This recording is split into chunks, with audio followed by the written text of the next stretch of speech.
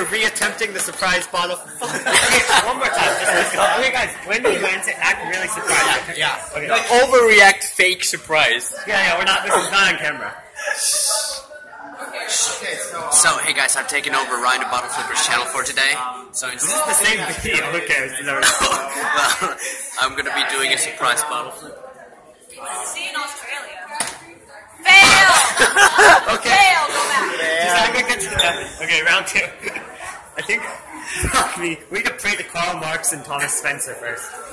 Wait, isn't Thomas Spencer his real name? Who was Yeah. that? Oh, Henry Spencer. It wasn't Henry, it was. Uh, Harold Spencer? Fuck. No, it doesn't, it doesn't No, you guys don't know about the Dolphins. It's a surprise, remember? Yeah. Acting like we're talking. On video. Yeah, yeah. Wait, who was the? Okay, it doesn't matter. Just Herbert Spencer.